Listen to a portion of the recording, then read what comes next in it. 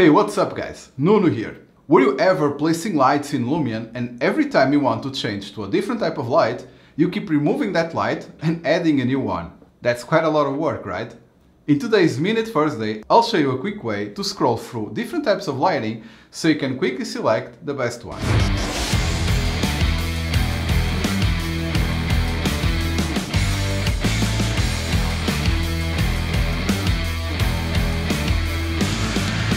So here in Lumion, I have my project and I go here to the bottom, I have lights, I'll click, I'll click on the first one, I'll place it here, I'm just going to move the light a little bit lower. And I'm going to change the color, okay, and the brightness, alright.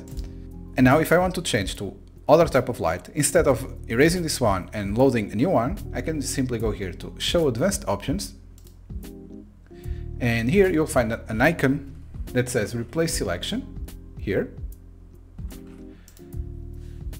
And now I can simply click all of these different types of lighting until I find the one that will fit best my project.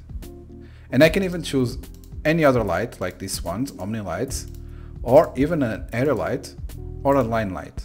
I hope you enjoyed this tip and if you did, don't forget to click the like button so you keep getting more useful content like this one. There's also a subscribe button you can click if you haven't already. And I'll see you in the next video.